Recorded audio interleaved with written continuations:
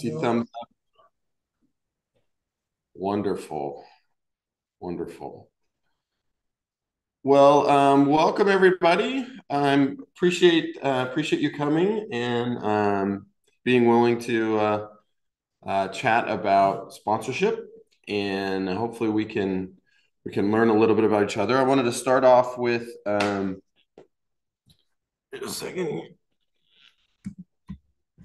Um, with just a quick agenda, we will go around and do some introductions, talk a little bit about the the panel and or the talk a little bit about the um, the workshop and and then we will kind of get into the meat of it with our with our panel and then wrap up. So so let's go ahead and um, go around and I'll start. Um, and let's introduce ourselves and share um, why are you here today and what are you hoping to get out of the workshop? And it's perfectly fine to say because I was asked to be on the panel.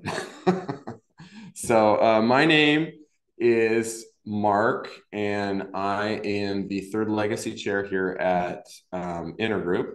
And part of the third legacy committee's um, role is to try and put on events occasionally, um, and we try and do a quarterly sponsorship workshop. And so that's that's why I'm that is uh, why I'm here, and I'm also here because um, I'm hoping to learn about um, kind of the nuances of sponsoring sponsoring folks who are dually addicted, um, and so what to what to know. That's not part of my personal story, so um, I'm hoping to to learn about the gotchas and other things. So that's me. Why don't I? Why don't I? Hi, everybody. I'm Sally, and um, I'm an alcoholic. And I was invited here by Lara, and I was taught, for the most part, not to say no to an AA request. Doesn't mean you can't, but for the most part, I try not to. So I'm happy to be here to share my experience, strength, and hope around sponsoring and um, sponsorship in general, and sponsoring people with more than just alcoholism. Oh, thanks. Wonderful.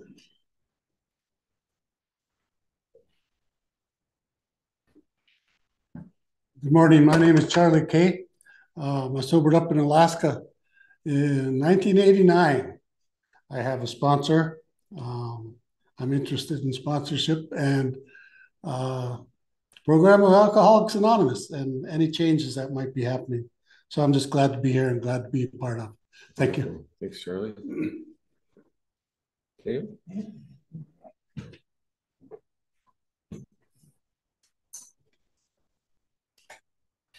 Good morning. My name is David Swanson. And I am a recovered alcoholic, and I'm here today because I was asked to participate. And the second question up on the board is What are you hoping to get out of the workshop? I'm actually not hoping to so much get something out of the workshop as I hope that through my experience, I can bring something positive to this workshop. So that awesome. is why I'm here today. Wonderful. Thank you. Okay, so program, so how about um, we start on Zoom with uh, with Lara?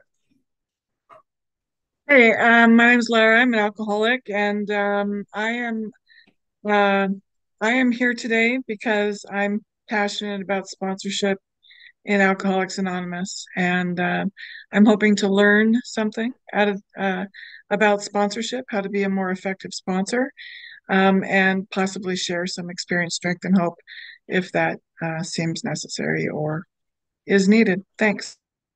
Wonderful. Thank you, Rick. Well, alrighty then. My name's Rick. I'm an alcoholic. And what am I? Okay. Um, I'm, as you could probably see, I'm an old uh, um, 70s alcoholic, but I didn't. Uh,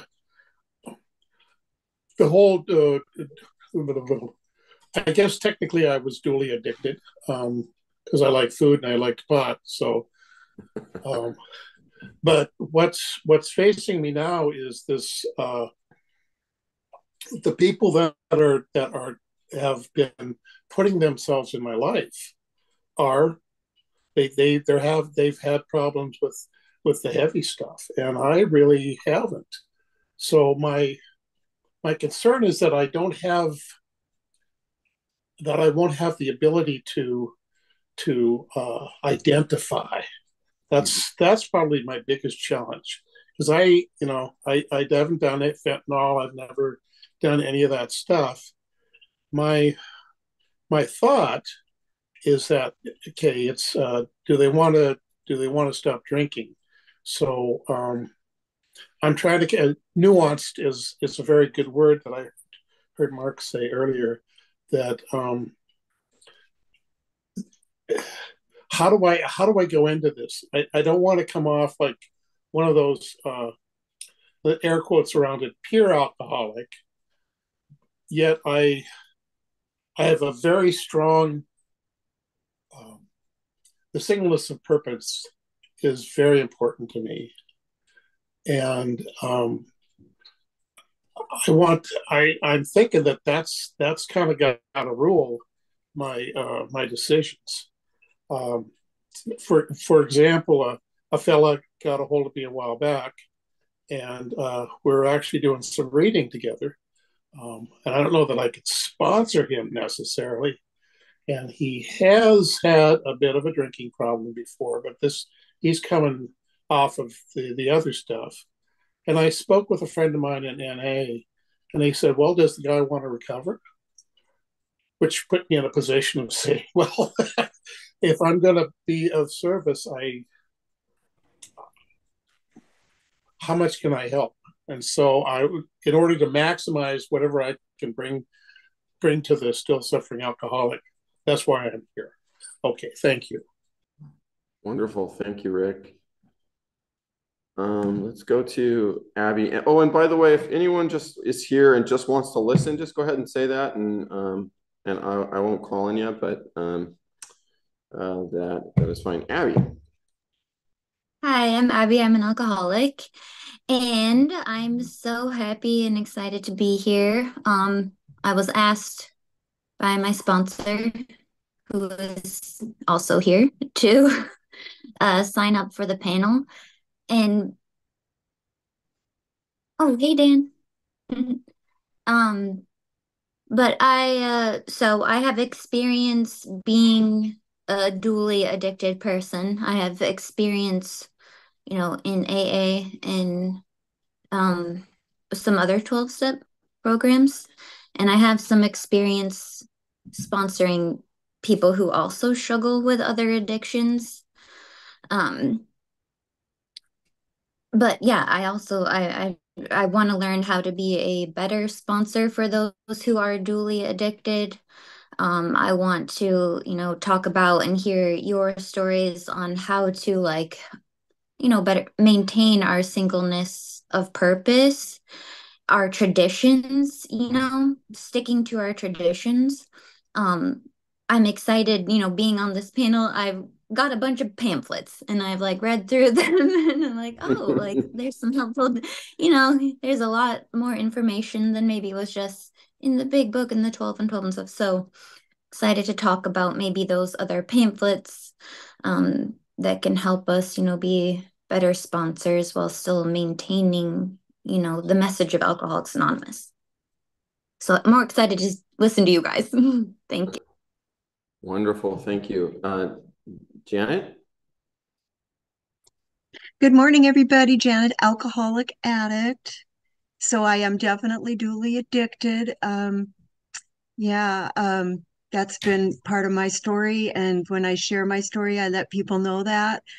Uh, to me, a drug is a drug is a drug. And but this program, Alcoholics Anonymous, ha- did save my life. Um, so I'm here today because I'm passionate about sponsorship. I have sponsored many people, women that are dually addicted. One of those sponsees passed away recently, and that was a huge. Um, I, it just really, really consumed me for a long time. And what I what I've done in sponsorship, I just want to learn more from people that have gone through this longer and you know have dedicated themselves to helping. Um, i'm i am also very um, i'm just you know, I I am a firm believer in I get to learn something new every day, and that's and so the reason why you know I wanted to be on this is not only because I'm dually addicted, because there are so many other people, as Rick was saying, the things have really accelerated, and there's lots of new women coming in and i want to be able to help if i can.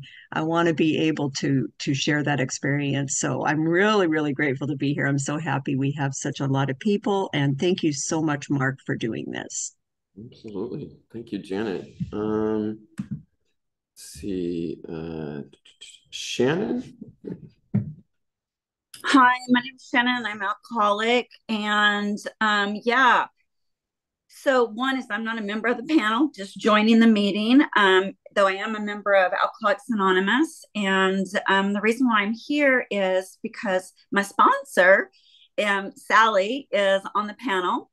Um, also, I'm very interested in hearing um, others experience strength and hope around dually uh, addicted because I do have some sponsees um, that are dually addicted. And I have um, several friends in the program that are dually addicted.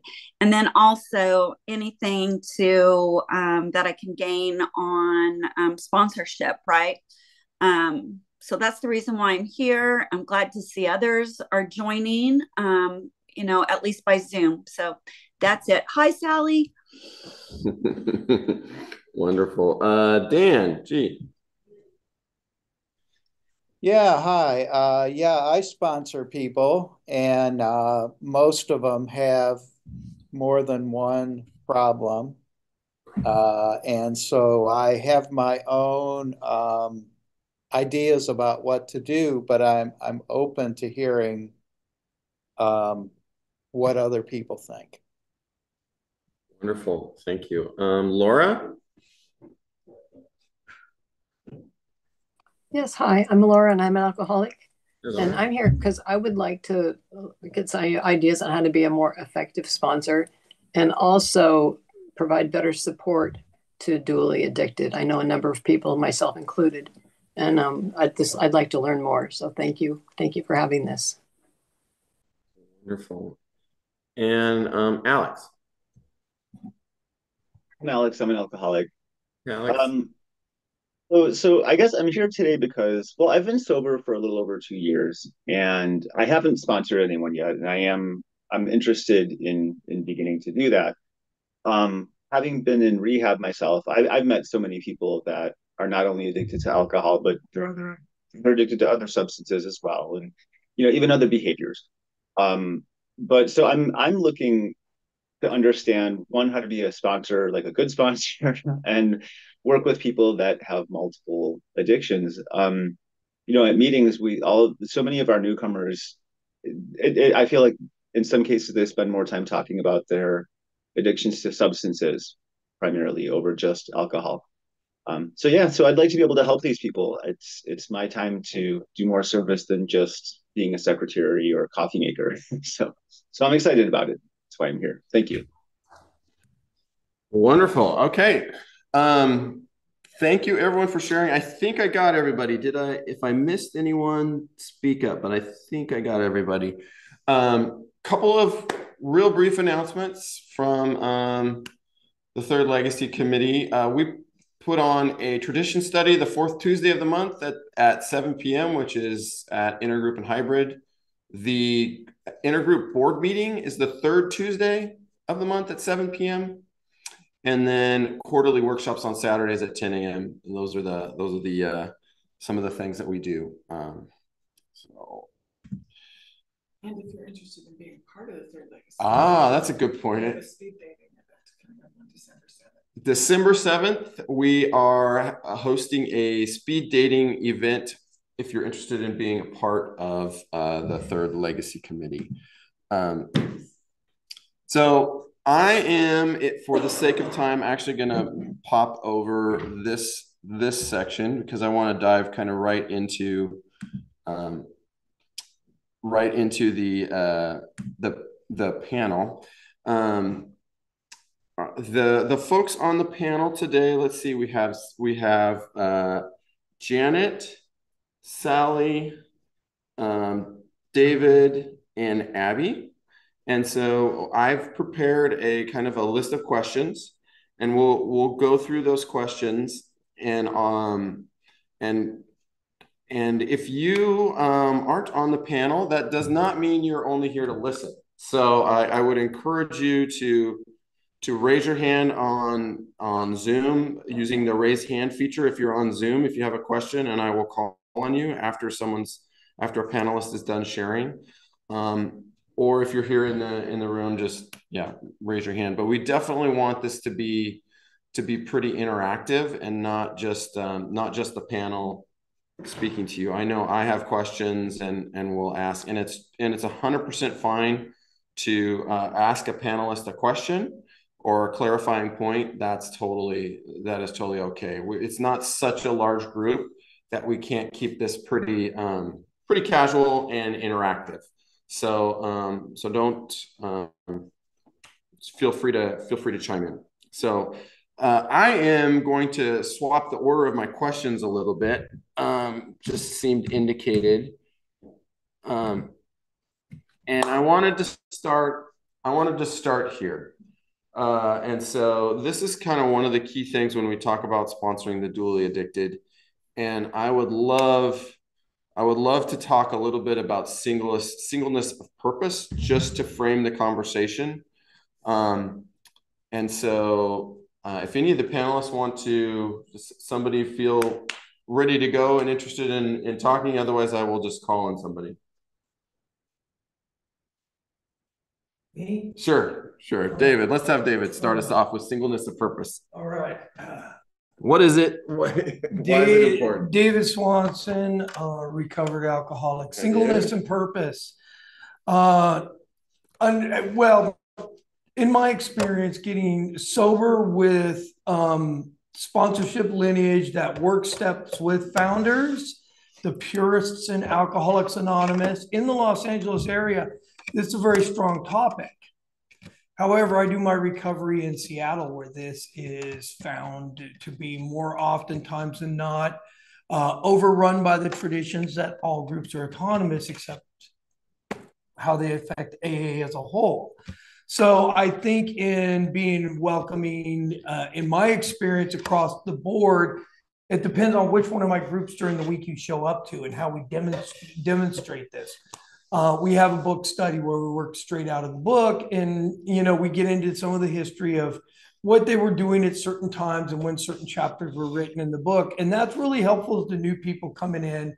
Um, you know, that are just showing up and they're participating. They really don't know what's going on yet. They might still be in treatment or fresh out of treatment. And this is kind of a pretty advanced question, um, you know, down the road. Um, because where they identify really pertains, you know, just this is my opinion. Now we're going to talk about Dave's Anonymous, not Alcoholics Anonymous.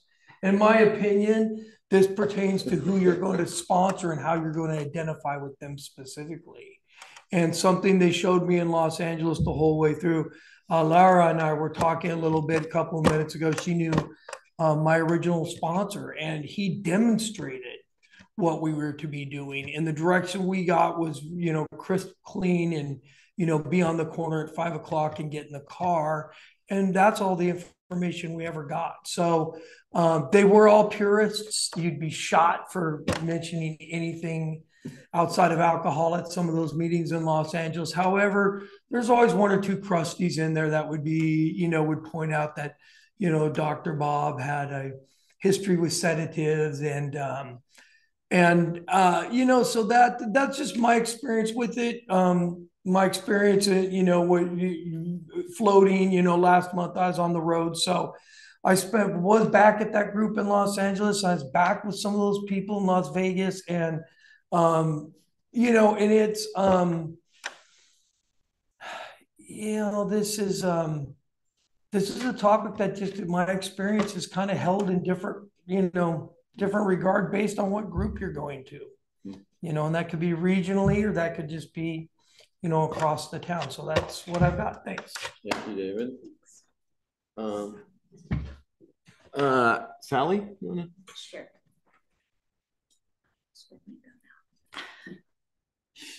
Hi, everybody. Sally, alcoholic. Um, I just want to say my uh, sobriety date is April 30th, 1984. I have a home group, I have a sponsor, and I have a service commitment. All of those things are very important to my sobriety, and I try to keep them all intact and have for the last 40 years. Um, speaking to this question, uh, anybody that knows me knows that I'm really a mad dog about our traditions. Um, unfortunately, they do not get studied enough.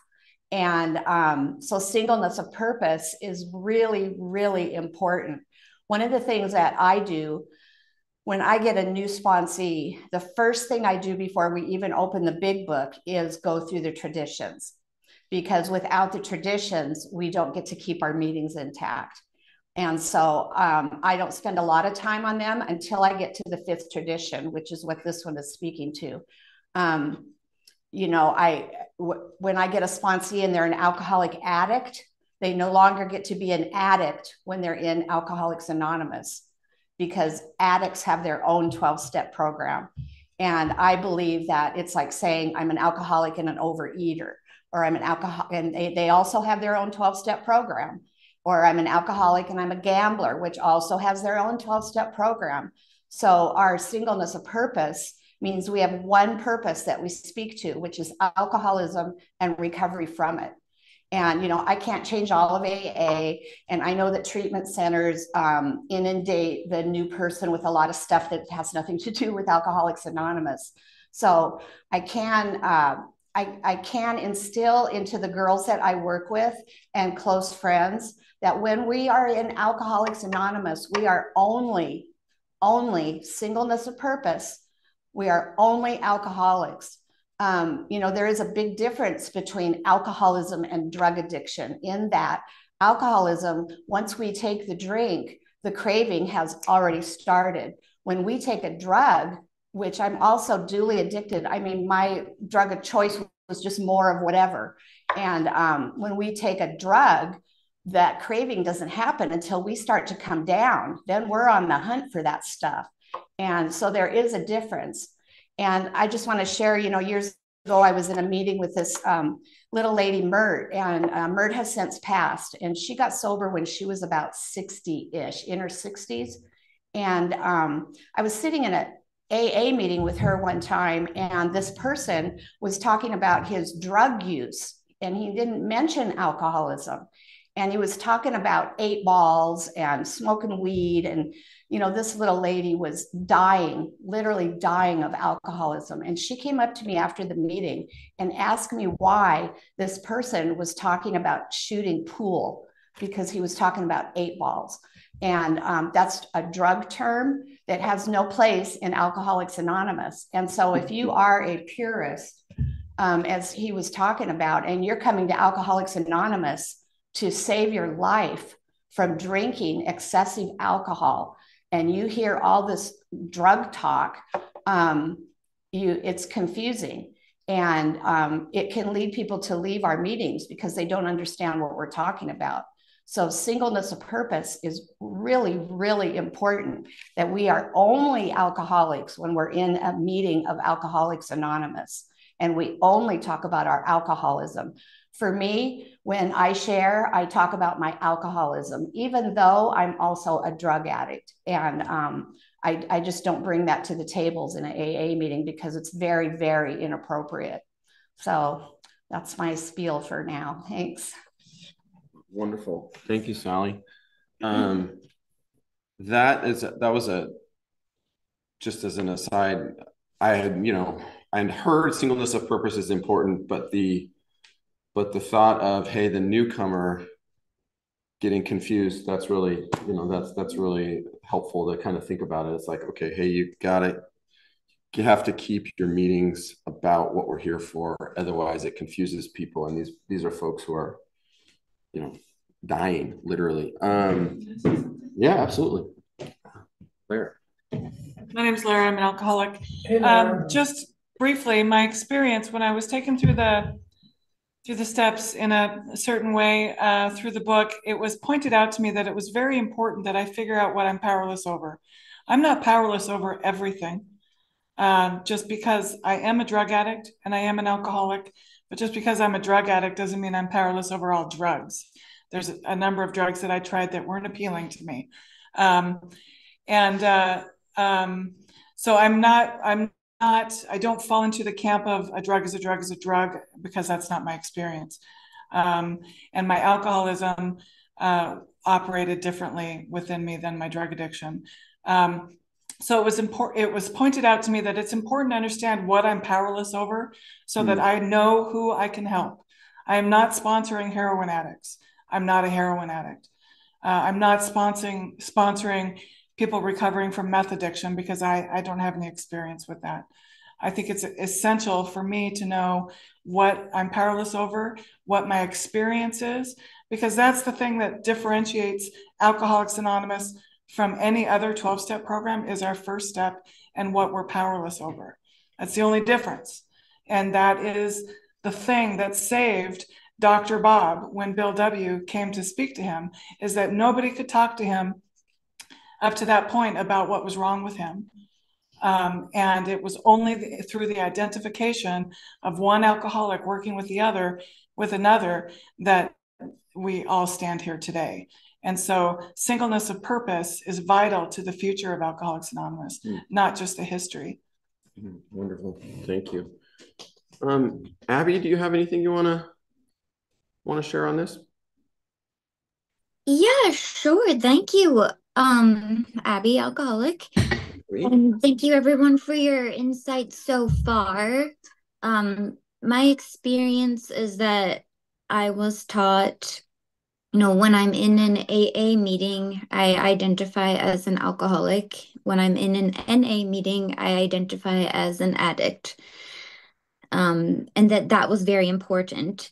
And I didn't know, you know, why at first, but I just said, okay, you know, yes, okay. I, um, so learn, you know, little by slow, you know, learning more about our traditions, our primary purpose, you know, to carry the message to the alcoholic who still suffers.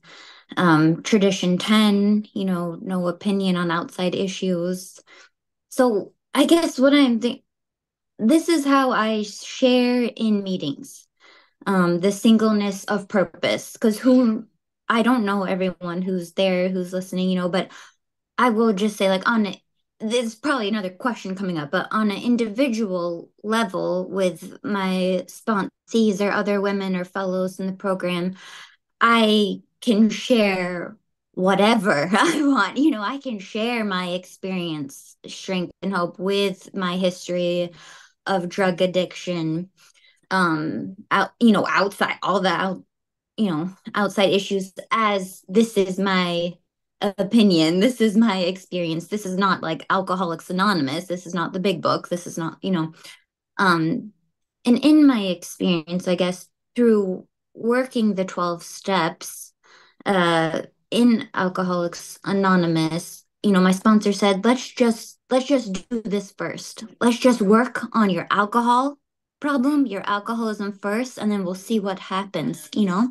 And my, you know, I did go to um another 12 step program too to ident- you know identify the addict and i appreciate the literature in those other 12 step programs as well but in my experience you know this alcoholics anonymous has greatly helped me with those other addictions um yeah so singleness of purpose i identify as an alcoholic in the aa meeting you know if an addict at an na meeting that that's just super that is important. I don't know if that's helpful, but I think Janet has her hand, had her hand raised. I want to hear from Janet. Janet. Oh boy, this is tough for me. I Janet alcoholic, so I'm gonna I'm learning today. Um, I've always introduced myself as an alcoholic addict because it's my reminder to me that alcohol was my drug of choice. It is my drug of choice. But to, for me, when I drank, I craved and I wanted drugs. And so I have tried the other program, the NA program. I I did it for about a year and it just I, I couldn't do it. Okay. So I've always been able to get what I need in in the Alcoholics Anonymous rooms. And the thing about it that for me when I'm sharing, do I go into detail about crack cocaine? Oh my gosh, no.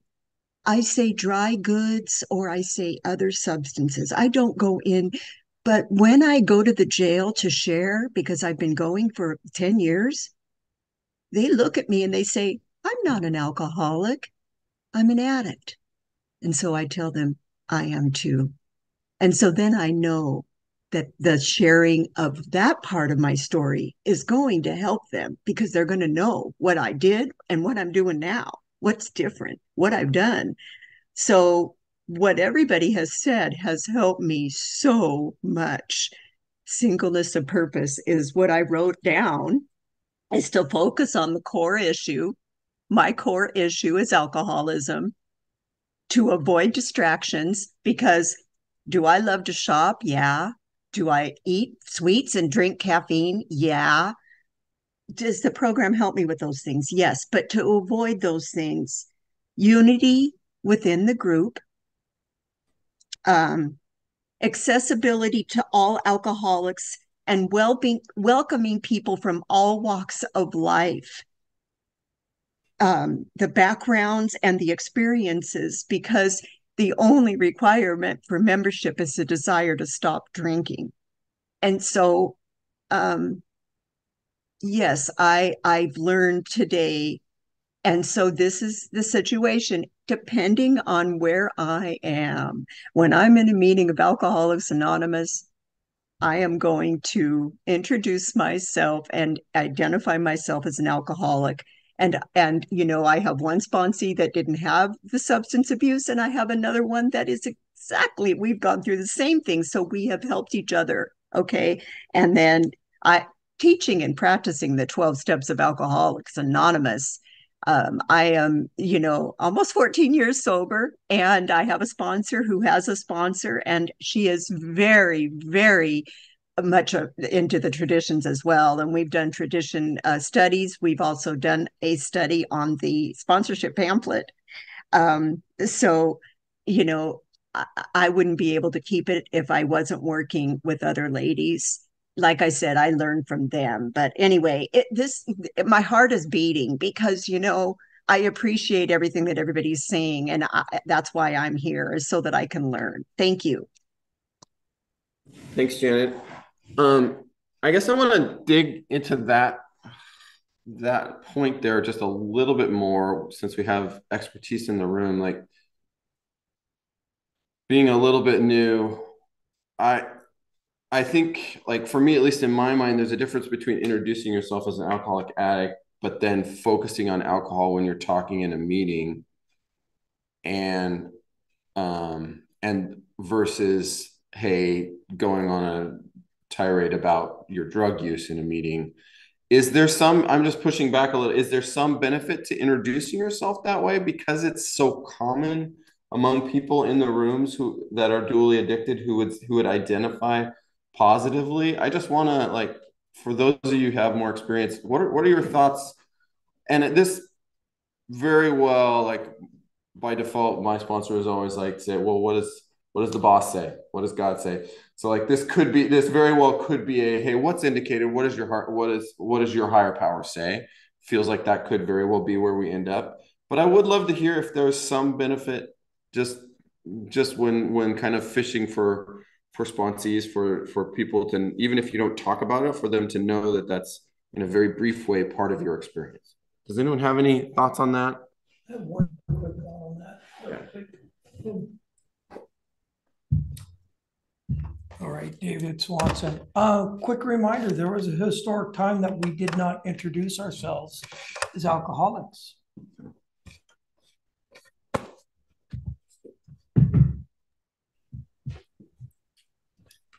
Um, hi, this is Shannon, alcoholic. I was trying to figure out, I'm on um, remote, obviously Zoom, but I couldn't figure out how to raise my hand. So is that okay? Did I just jump in? Yeah, absolutely. Okay, Shannon, alcoholic. Um, Yeah. And so when I first came into the program of Alcoholics Anonymous, my sponsor, you know, did the first step and, you know, I had to write it all out. And then she was like, oh, by the way, you're addicted to drugs, right? You know, um, but again, I was just really taught, you know, through the traditions and also the importance of singleness of purpose.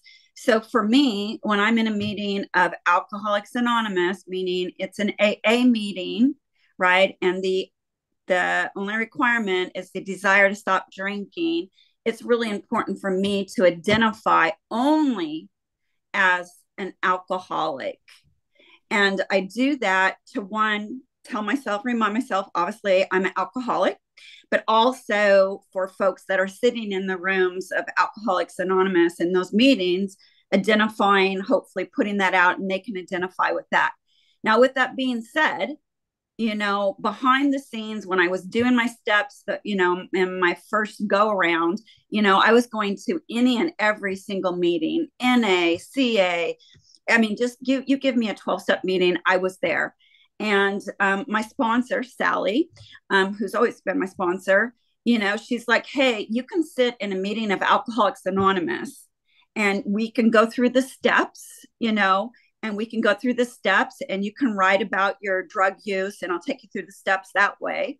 And even when I'm in, in a meeting, I again don't identify that I'm a drug addict too, but I will just quietly just, you know, I am powerless over alcohol and drugs. I just don't go on about it in a meeting. And then again, when I'm in the meeting, I'm identifying only as an alcoholic.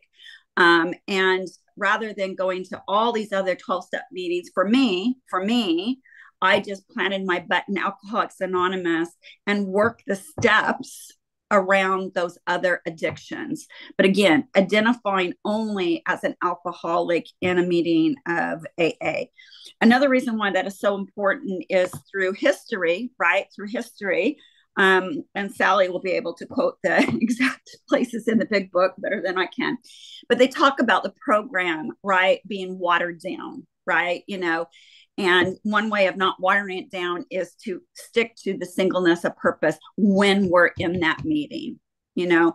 And I sponsor um, several, well, I sponsor two girls right now. Both of them are dually addicted and again, when I took them through the steps, we took I took them through the steps over alcohol and their other addiction, right? But again, when you're in the meetings of AA, identifying only as um, an alcoholic. So that's just my two cents on that. I really believe in singleness and purpose. Thank you. Yeah. so I think if you went to an Overeaters Anonymous meeting and you said, I'm Sally, I'm an overeater and an alcoholic, they would go, okay, but why are you identifying as an alcoholic? Or a Gamblers Anonymous meeting, I'm Sally, I'm a gambler and I'm an alcoholic. They would go, why are you here for your alcoholism? And I think it's the same with Alcoholics Anonymous. We don't go in there and say, I'm alcoholic and an overeater, or I'm alcoholic and a gambler because again, those places have their own 12 step program, which by the way, also has their own singleness of purpose. So it's important, I think, to identify only as an alcoholic when in a meeting of Alcoholics Anonymous. Um, and to Abby's point, that when I work with these girls that have all these other addictions, that, you know, sitting at my kitchen table one on one, then I can share all of my junk as they can also share their stuff too. So.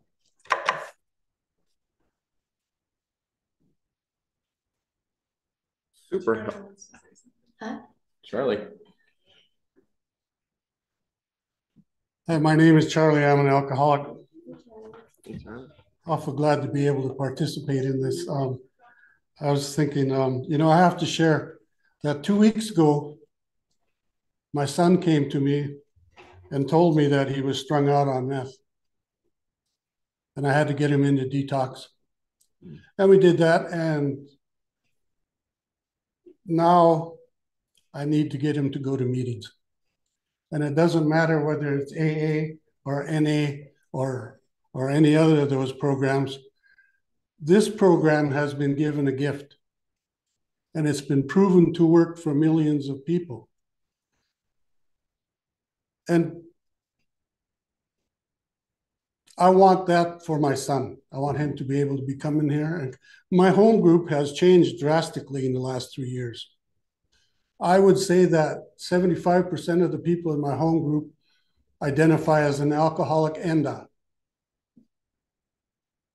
And it's not an issue. Those people are doing the program. Those people are starting to celebrate years. These principles will work in most cases. So I don't, you know, as an Alaskan Native, I can identify with discrimination, and I don't think it should be a part of this program.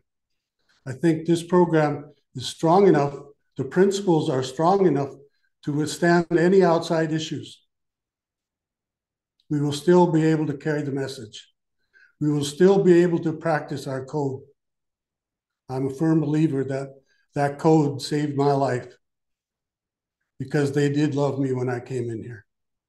They did tolerate me when I came in here. And that hasn't changed, or it shouldn't change. We should still make this a safe place for anybody that comes in here. So that's why I'm here today. Thank you. Thanks, Charlie. Any other any other questions or shares around um, singleness of perfect purpose? This is this has been really, really helpful for me to My name's, understand a little bit more. my name's Rick. Hey, Rick. And I'll just uh, throw in the, and I heard this before, and I don't know how applicable it really is or not, but the idea that I'm I'm special, I have it's like it's like um, my name is Rick, uh, Rick Smith the third Esquire, or I'm Rick Rick Smith the third PhD, MSD, MOUSE. Um, I think there's a,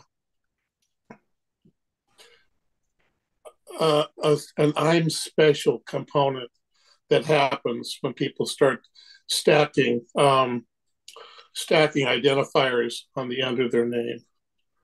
Uh, and I, I've heard that brought up before, and I just wanted to to bring that up because that doesn't that doesn't keep me right sized to uh because I'm in an Alcoholics Anonymous meeting and that's what I'm what I'm focused on.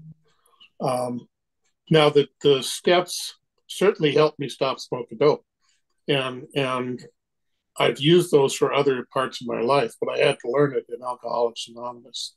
Anyway, that's all I got. Thank you. Thanks, Rick. Okay, well let's let's move on. I'm going to go back to kind of the the first question in the um, yeah for the for the panel. So the question is, um, what do you think is important when sponsoring someone who has also uh, struggled with uh, with outside issues, as we would say, as we would say, drug addiction? Um, yeah. So does anyone want to anyone want to start on the panel?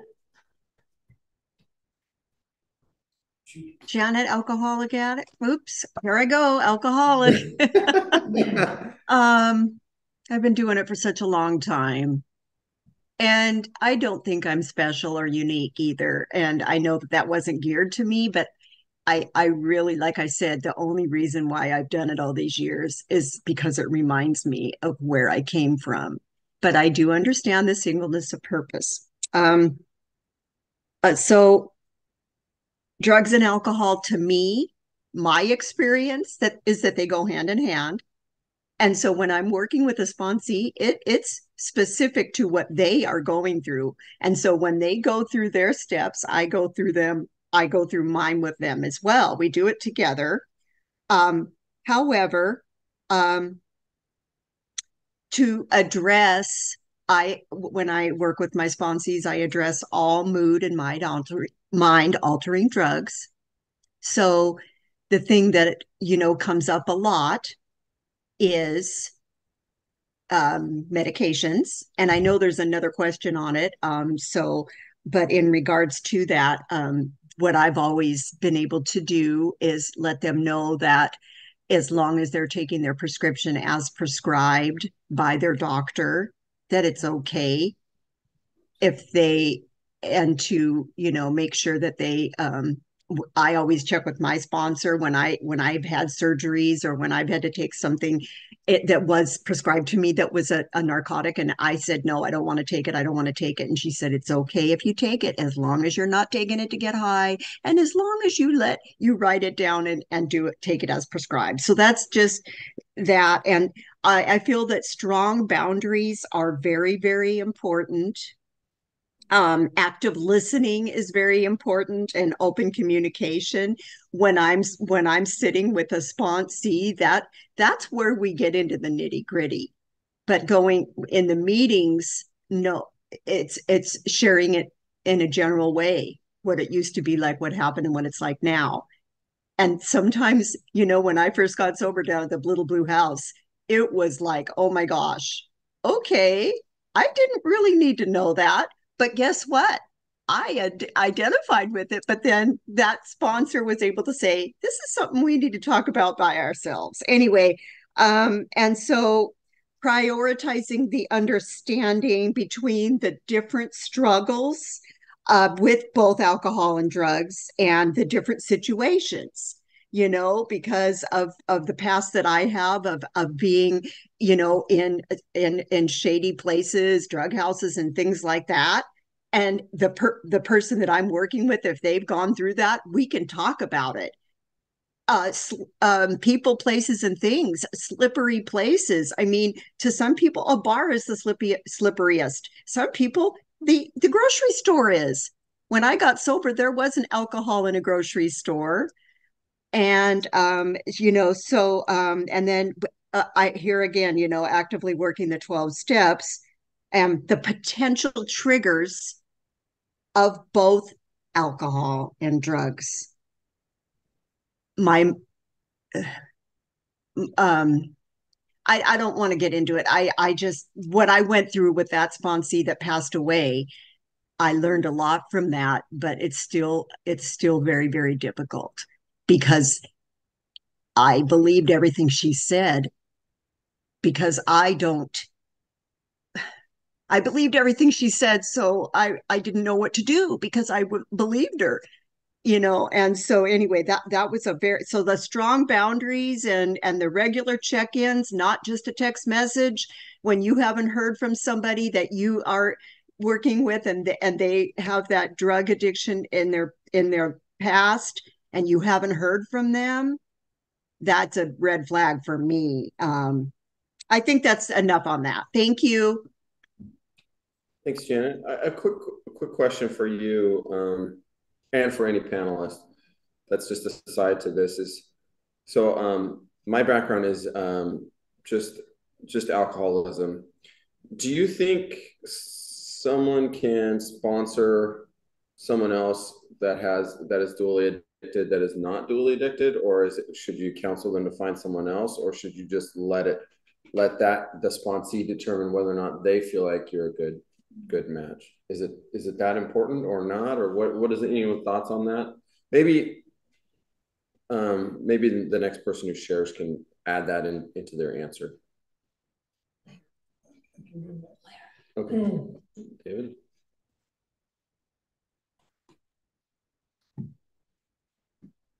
Uh, I'm David Swanson, recovered alcoholic. Um, so interesting to like get up and come over here and stand in front of you people, right? And then like sit down. It's like I'm coming in, putting these hats off and on. Um, the, so based on my, so here's my, my experience is powerful for primarily um, a reason that applies, I think, to the difference between traditional Alcoholics Anonymous and modern Alcoholics Anonymous. And let me wrap this up. I was here in Alcoholics Anonymous for 12 years, right? In Seattle, going to meetings, being cool, um, carrying that message, right? We had workbooks, we had add ons, we had extra things, we had workbooks about feelings and all of this um, stuff that's important, right? These these are all things that exacerbated my drinking, but they were never at the core of my drinking. And and what was happening to me was I was essentially um, you know, the meeting was kind of replacing the drink for me. And and as soon as I'd get out of a meeting, within a couple of hours, I was feeling miserable again, right? Like I wasn't I wasn't running the recipe that carried the solution that uh, would lead to recovery. Um, I love what your question was and your additional question because here is the powerful part of my story. It's like the question up here on the board is what do you think is most important when sponsoring someone? Well, the most important thing when sponsoring someone is their relationship with their higher power, right? Because it says in our ABCs, I'm not going to get anybody sober, right? And one of the things that was pointed out to me really early on was when I got sober with, you know, these guys bouncing back and forth between Los Angeles and here was, you know, some of the things they narrowed down is like, what is the first direction in Alcoholics Anonymous? And and uh, you know, and that's a tough question for a lot of people to answer. A lot of people don't, they, we miss it, right? For me, getting sober in Los Angeles meant that each day I had certain sponsorship directions. There were things I was going to do, there was places I was going to go, and I really didn't have any say in that. You know, I was going to be calling alcoholics each day, asking how they were doing. I was going to be making my bed when I got up. I was, going, I was just learning to follow directions. I was also thrown in with a group of other guys that were new in recovery right? Because that's where I was going to be identified. I could not identify with my sponsor had 30 years sober, right?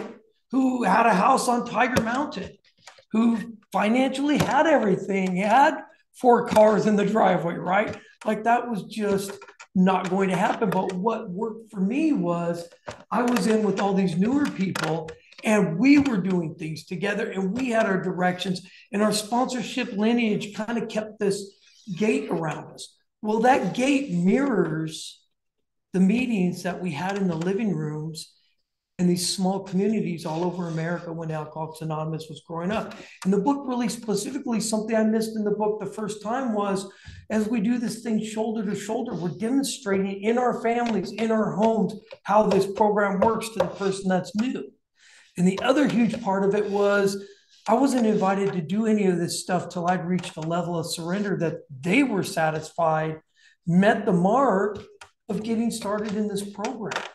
So, you know, to me, that's my experience. At, at year 10, my first time around there, my nickname was Angry Dave.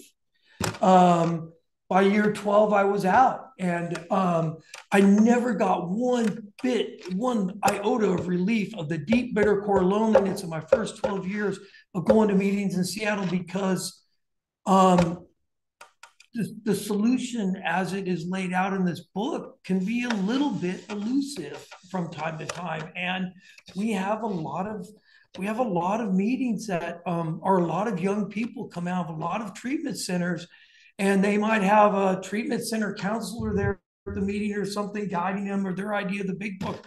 But the truth is, um, for me, the history is the history is key because the history holds the secret of what we were doing, and it's and it's um, and it's not so cut and dry, and it's not um, you know, it's not so rigid. So today, you know, I sponsor currently right now. I'm sponsoring uh, five guys, right?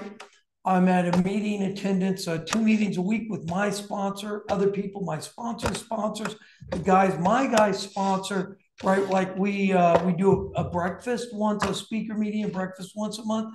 It is so important that once we start building our one or two uh, sponsees, that we're able to group them together with other new sponsees and other people we're shoulder to shoulder with because this deal picks up a lot more energy when there's six or seven in a meeting, all on that same page. And we've got the four or five guys coming in from treatment. We're picking up and driving in from Island. So, um, you know, Los Angeles, the group I got sober, in has this at an even a larger level. And, and at times I crave that and go down there to recharge my batteries. But it is so important that when we are, uh, we're not just shoulder to shoulder, but these new people we're guiding through this book, have other new people to get out and do a bunch of meetings with. And quite frankly, um, I'm not going to go to seven meetings a week, but I expect them to. So I want them out there with other new people in the car, uh, you know, being in places we know we can um, we can present this program to them. So um, I hope hopefully that's helpful no, that's with your great. question. Thank you. Thank you. Um, Sally, you want to share?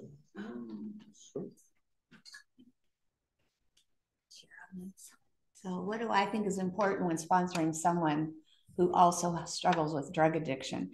Because I also struggle with drug addiction, um, I'm able to um, to relate to the girls that I sponsor, and often people that I don't sponsor because I have that drug addiction.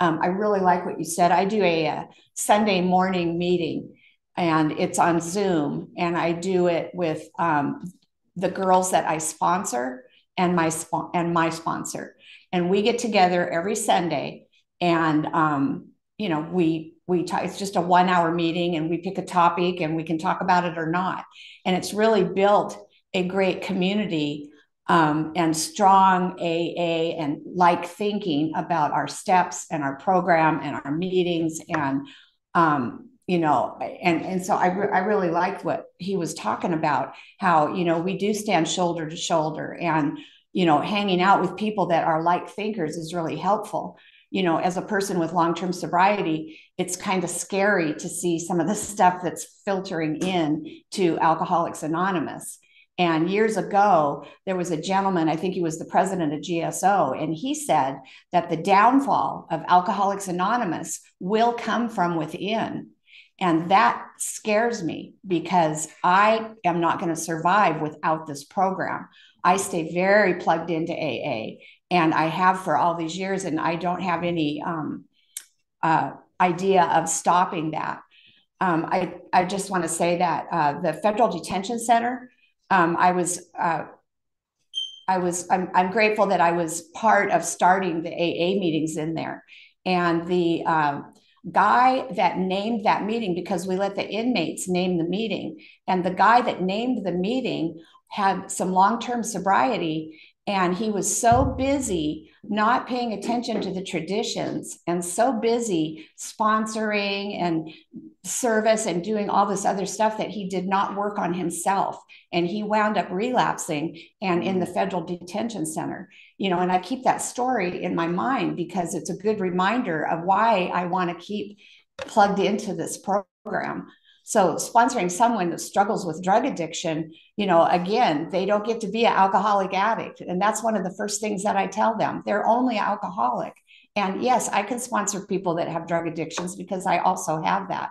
But I don't, you know, go on and on about that in a meeting of AA. So um, I just want to speak to prescription drugs because Janet had brought that up. You know, prescription drugs are okay to take.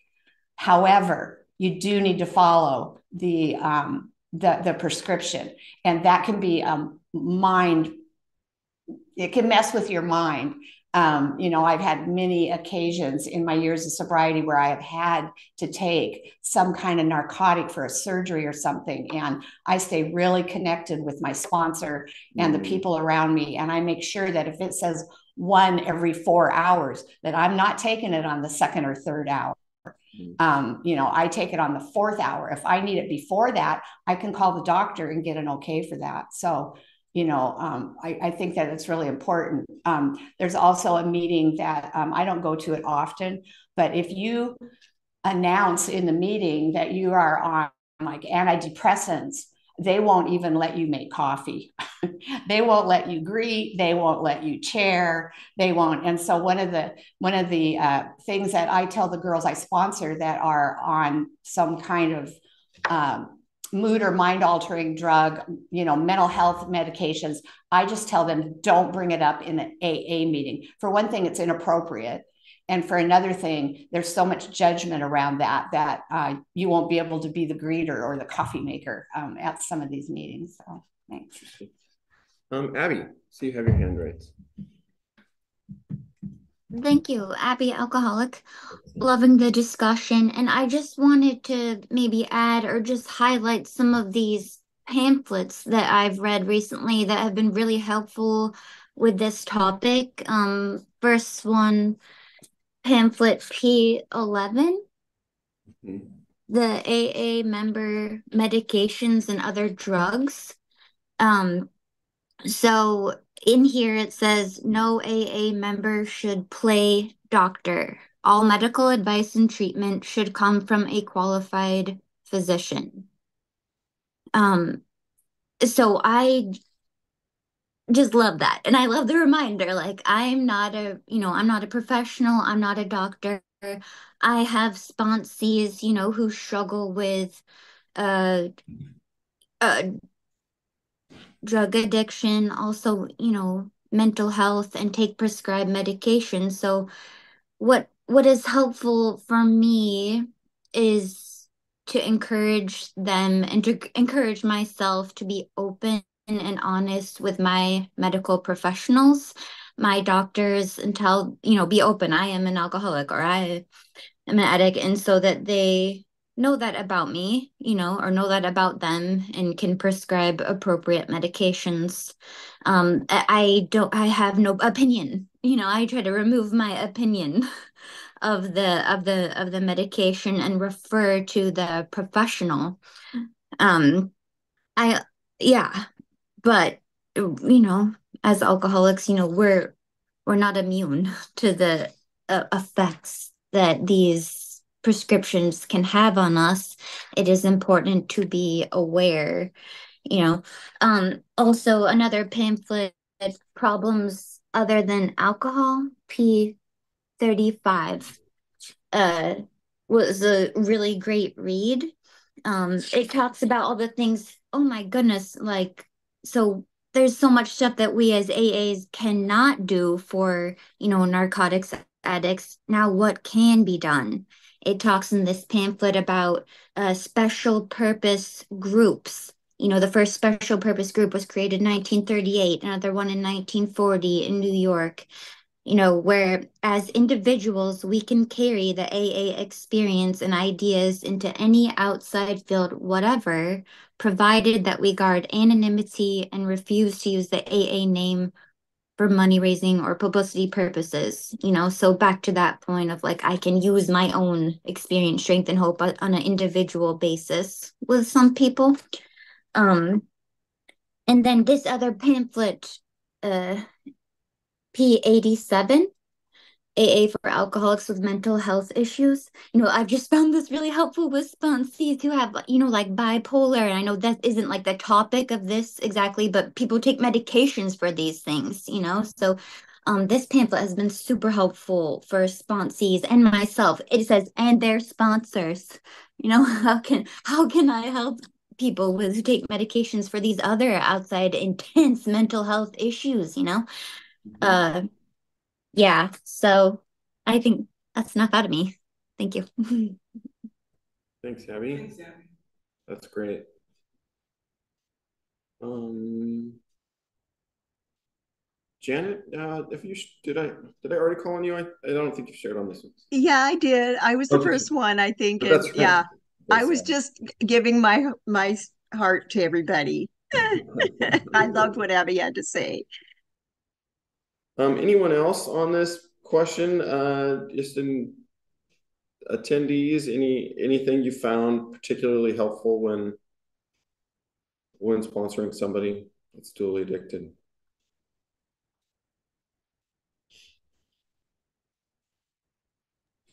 I have a. I'm, I guess.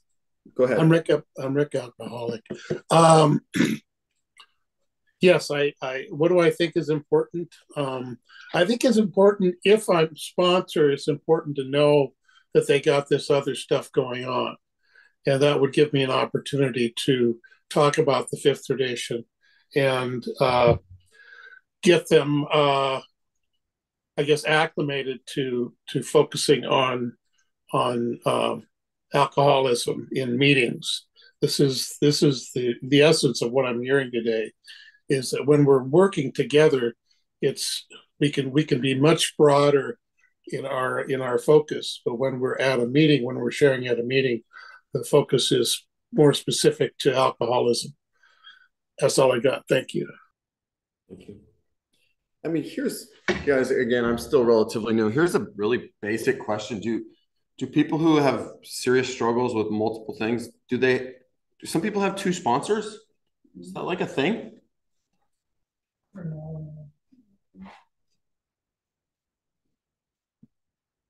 Hmm. Eleanor.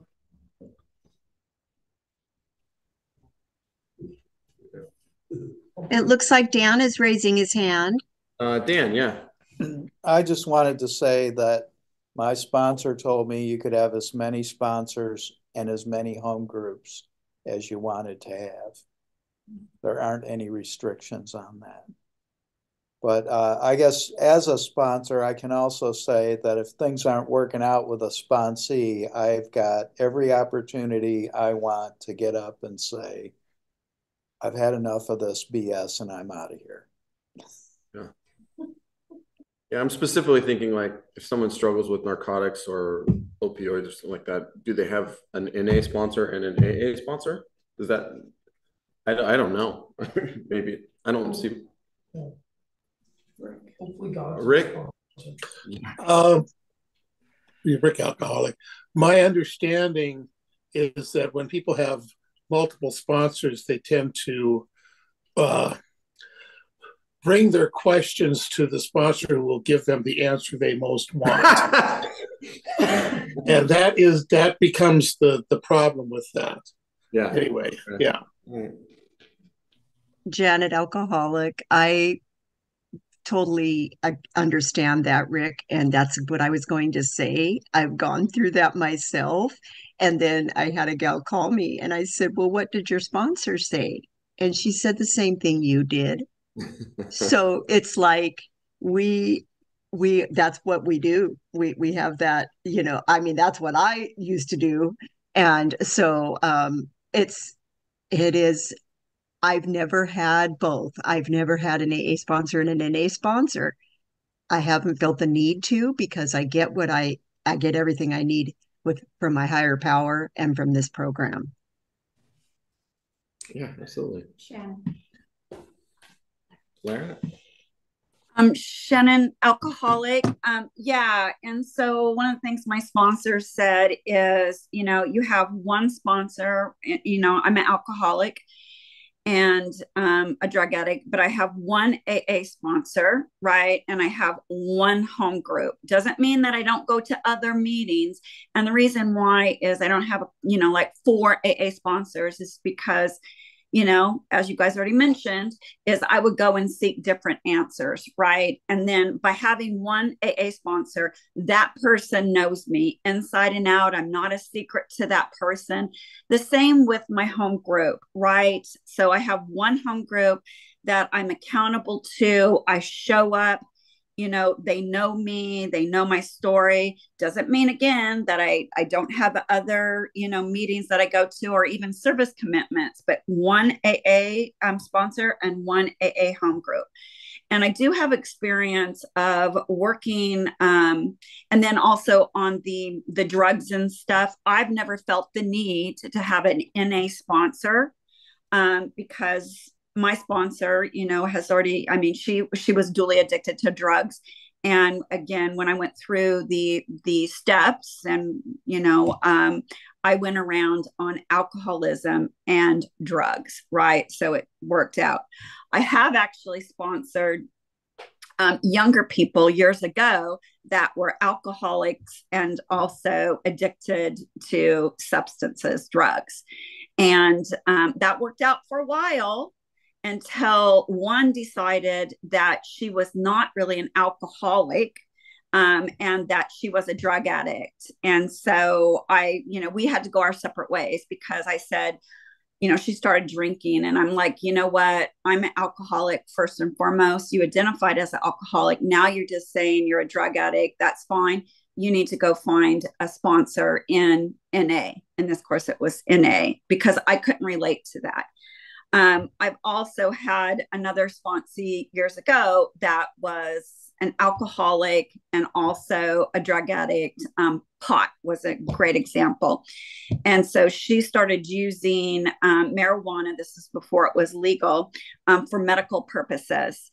And um, she would call me and check in, and she was completely stoned. I mean, completely stoned. I mean, she'd call me at three o'clock, couldn't remember if she had checked in earlier and you know again was using it for medical purposes but i did not feel comfortable sponsoring her right? I just did not feel comfortable sponsoring her whether that triggered something in me um, and i just said you know you need to get yourself um, a sponsor in na um, and particularly because you're using um, marijuana in this case for medical purposes um, I just can't identify with that, right? You know, I can't identify with it. So I, I couldn't be of any service to her. You know, that wasn't my experience. So that's all I have on that. And you guys, I'm so sorry, but I do have to go to another commitment. This has been a wonderful meeting. Um, a shout out to Sally. Bye. you know, so I'll see you guys later. Okay. Thank you, Shannon. All right. Bye. There. Uh, my name is Larry. I'm an alcoholic. I probably don't need to speak, but here I am. Uh, so take what I say with a grain of salt.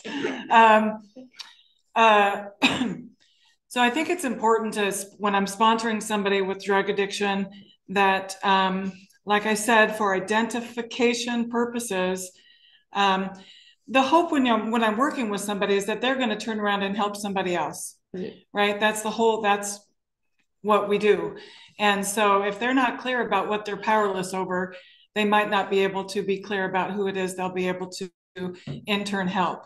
Um, you know, I uh, there's a there's a sentiment in Alcoholics Anonymous that we need to be all inclusive and helpful to everyone who walks into who darkens the doors of Alcoholics Anonymous, um, regardless of what their affliction is. Bill Wilson talks very explicitly about how we can't be helpful to all people. And in fact, it will harm Alcoholics Anonymous in order to do that. However, anybody can attend an open meeting of Alcoholics Anonymous um, at any time. Uh, and it does say in some of our literature as observers only. But that being said, Open Alcoholics Anonymous meetings are for anybody who's interested in finding out more about Alcoholics Anonymous or living a sober life, I suppose. There are 12 step programs um, for other, other addictions, right? And I know that we're the mothership, and I know that it's hard to find quality sobriety in some of these other 12 step programs. I, I've been to them, I've seen it, I know that it's difficult. And I've, I've heard that story. And, and that, that, you know, that's unfortunate. Um, the thing to do would be to make those programs stronger, right? For the people who are coming behind you, you know? Um, so somebody who de- isn't an alcoholic, sobering up in Alcoholics Anonymous, I'm not sure where they're going to be able to be of service uh, within the program once they get to a point where it's their turn to carry the message to the still suffering alcoholic? No, they're not an alcoholic. Well, where are they going to go to carry the message and be of service? Because that's what we do to in order to stay sober. Um, and just I, I, you know, I sort of it's it's a strong sentiment that we're supposed to be everything to all people in Alcoholics Anonymous, and I and I just have to stand up and disagree. It's not a very um, it's not a popular opinion uh, to be have singleness of purpose. And um, uh, uh, but as an old timer you know when i was first getting sober and before i understood uh, the traditions of alcoholics anonymous i would have you know hated to hear what i just said. So um, so that's okay. Uh, but i'm going to keep saying it anyway because at some point it's about alcoholics anonymous. It's about not about how i'm feeling right? Or how the newcomer is feeling. It's about the larger purpose of Alcoholics Anonymous. Um, and for anybody who doesn't know, there is a 12 step program called All Addicts Anonymous. Um, if you know, so there is something for everyone. Um, I don't think Alcoholics Anonymous needs to turn into All Addicts Anonymous because there is a program like that that already exists. Thank you. Thanks, Larry. David? Yes, David, back in front of you. Um, it would be nice, be nice if we just had little microphones like ding, ding, ding, ding, ding. Um, would be, anyways. Um, I want to speak a little bit on, you know, just kind of back to uh, my experience of this LA versus Seattle deal. And, um, you know, the group I was a member of in Los Angeles, like the woman was saying, she had only one home group. Well, you know, I had one home group in Los Angeles too. They had seven meetings a week. And they were active. They did five or six panels a week. Um, they were active in a lot of different places. And one of the things that was shared with me, like I began to ask questions like, why am I always going? You know, I mean, I was always going somewhere and always doing something to the point of like, you know, it was wearing me out. And I would complain to my sponsor, and, you know, they kind of laugh at me and they take me back to that part of like, you know, well, you, you know, did you drink every day? It's like, yeah, you know, then you probably need to be at a meeting every day. And, um, and today that's not true for me. You know, today I'm at a meeting about three days a week because as I've recovered from this, I've gone on to do other things in, in normal life. Um, you know, outside of Alcoholics Anonymous, but those, I'm still running that same recipe, right? I'm useful in my community. I'm showing up to do things. I'm supporting other things in the community, um, you know, with children in school and, you know, marriage and family and all this stuff. We have all these other things um, that are part of this, this bigger life that um, comes from, you know, these early days of, of where um, we all start. So I think, you know, in a lot of these questions is I don't want to forget in these questions that, you know, I, what I'm saying today is a whole bunch different, you know, way different than 10 years ago, right? And how I felt and what I did. And I think, unfortunately, in Seattle, with a lot of meetings, right? We have 1,500 meetings. Um, it's getting back to one of these arguments that's going around the block right now, like what's a meeting and what's a group. And um, you know, and this brings me back to once again, let's go back historically to where this program started and um, what was the true definition of fellowship, right? The book in chapter seven talks about fellowship. What does that mean? It doesn't mean 1,500 meetings a week in Seattle because we didn't have 1,500 meetings a week when we wrote that book. So I think when we look at the historic piece of we did uh, this deal shoulder to shoulder. These get togethers were in people's homes in the living room, right? And the Al Anons to be were apparently in the kitchen. Um, we also had the biggest piece, and I keep hearing this pop up and people sharing that of the stories about people they sponsored that have like slipped away and died. And as sad as that may be, you know, the original prerequisite to joining Alcoholics Anonymous was the surrender. And you were until you surrendered and you worked some of these steps, you were not invited into the, we weren't going to let you come in and dilute the message in our meetings of Alcoholics Anonymous. And, um, you know, um, and so how do we do that today? Like, you know, how do we, you know, where is that surrender at and where and when do we start within that step work of people? And then as a true, you know our third tradition with all these open meetings of alcoholics anonymous is you know anybody's invited. So i think you know from where we started originally where we had these higher numbers of recovery and where we're at today servicing a broader spectrum of people uh, and a broader spectrum and choices of how we're going to get loaded. You know, I guarantee you, I guarantee you, if Dr. Bob had fentanyl and crack, you know, uh, it would be in his story, right? Because he was at, you know, he was spiritually connected in the Oxford group trying to get this deal right, like, but just missing the part of servicing other alcoholics. But don't, don't kid yourself, man. Dr. Bob was perhaps our our most glaring first, not our first drug. I guess, uh, yeah, I guess he's was our first drug addict. Um, but you know, Dr. Bob's story, just look at it closely. He was our glaring, you know, he is definitely our addict alcoholic and maybe even more of an addict um, in a lot of ways. Um, and definitely narcotics, prescription medication, They were doctor prescribed. He was the doctor prescribing. So I just enjoy the rhetorical circle that sometimes these conversations in Alcoholics Anonymous can be. I mean, I think my higher power has a sense of humor. So he's always going to keep me um, entertained, to say the least. okay. Um, this this next question is kind of a corollary, so I, am not going to necessarily go through every single panel member, but if if any one of the panel members has something you think, uh, we've talked a little bit about this, but what you know, what should you avoid, um, or what problems have you encountered? Janet, alcoholic. Janet? Um, I try to avoid things that um, I potentially did when I got sober, and I I you had these excuses and and different and different I guess reasons why I w- didn't want to do something or why do I have to call you every day? Um, things like that. And so basically, what I have learned is to be supportive, loving, caring, compassionate. However, I can't coddle. And, you know, every sponsee is different. I understand that. I can be supporting, loving, kind, compassionate, and understanding without coddling somebody.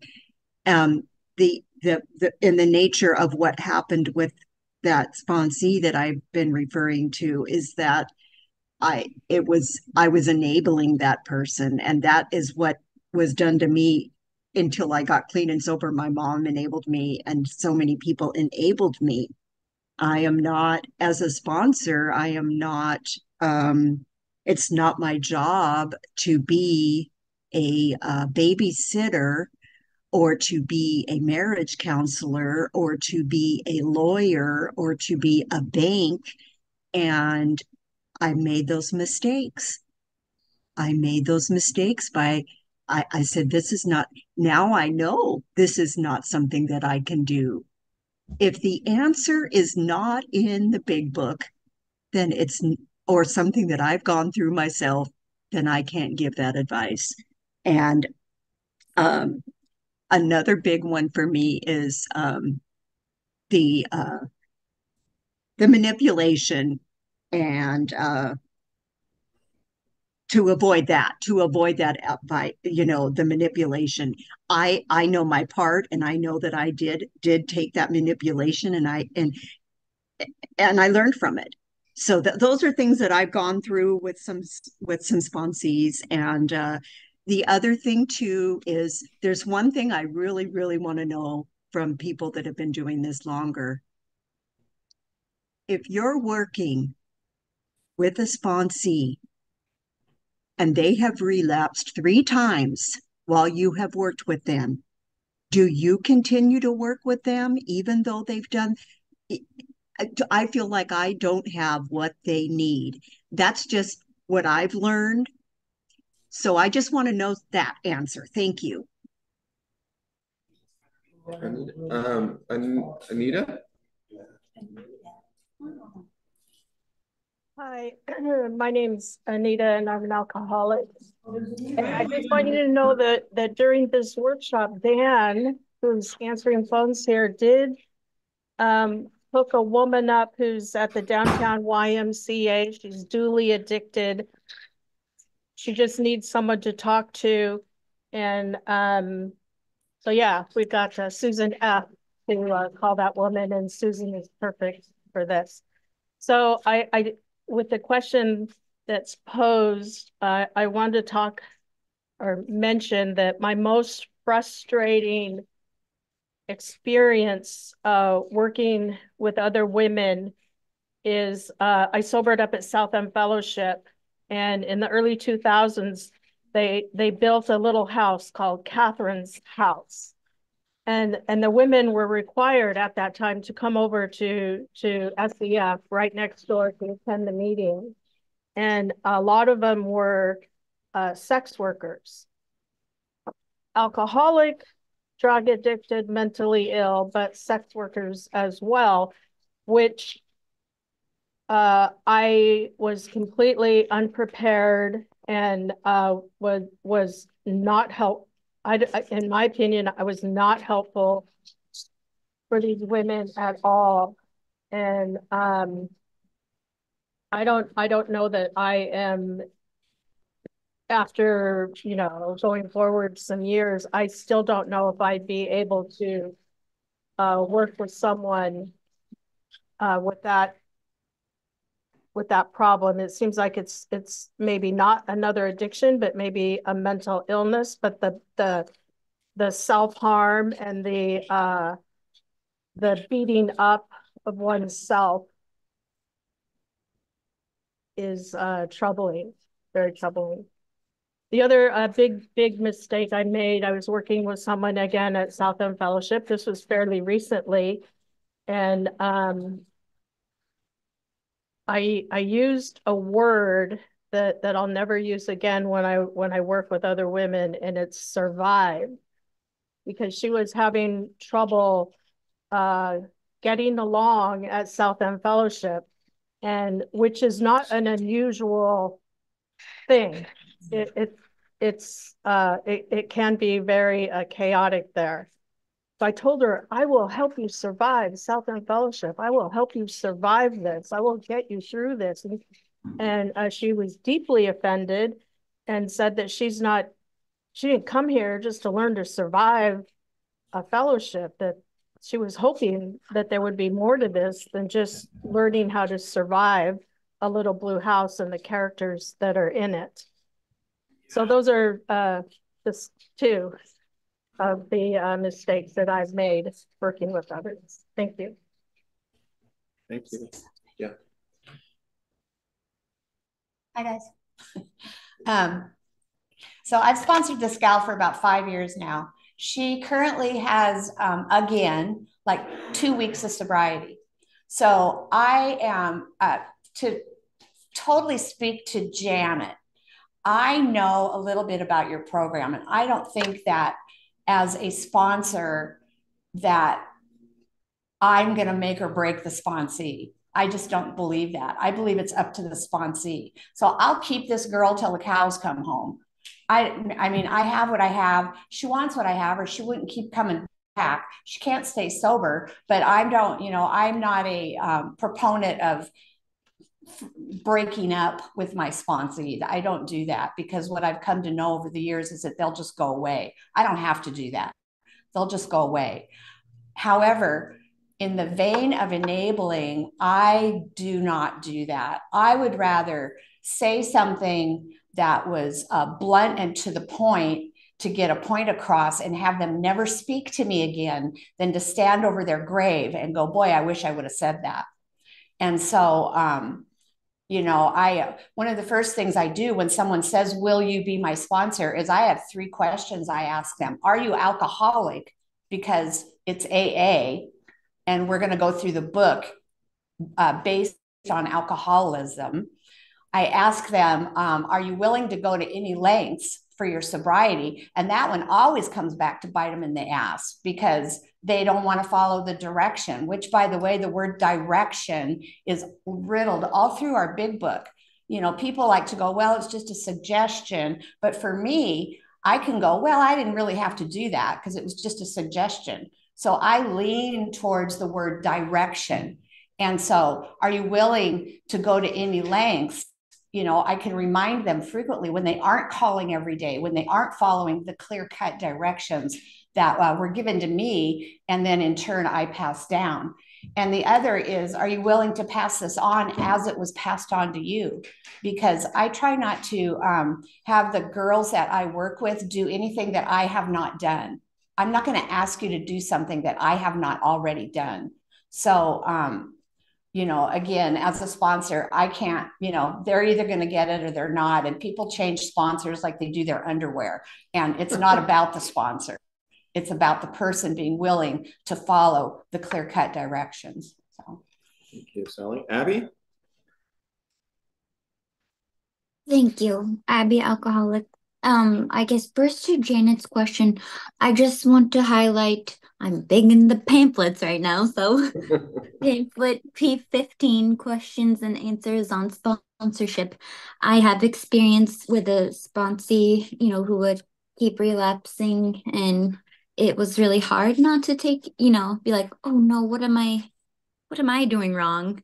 Um, but in this pamphlet, you know, there's a section how should a, a sponsor deal with slips that I found to be really helpful. Um, this one little paragraph uh, regarded realistically, the slip can become a learning experience for both the person sponsored and the sponsor. For the sponsor, it may serve as a push toward humility, a reminder that one person cannot keep another person sober, and that the 12th step says, We tried to carry this message.